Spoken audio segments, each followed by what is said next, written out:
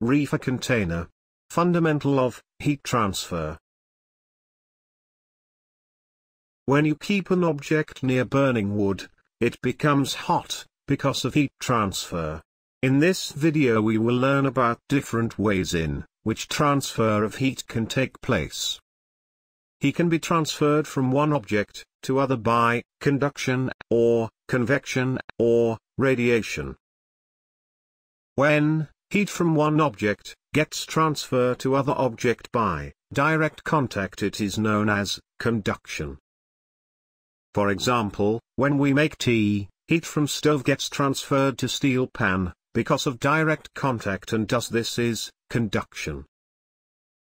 When you iron your clothes heat energy gets conducted from iron to clothes. In convection method, movement of particles of liquid or gas because transfer of heat from heat source. For example, when we make tea, heat from stove gets transferred to steel pan because of direct contact and thus this is conduction. We know that addition of heat causes increase in movement of particles, thus these particles move randomly, and the relatively empty space is formed.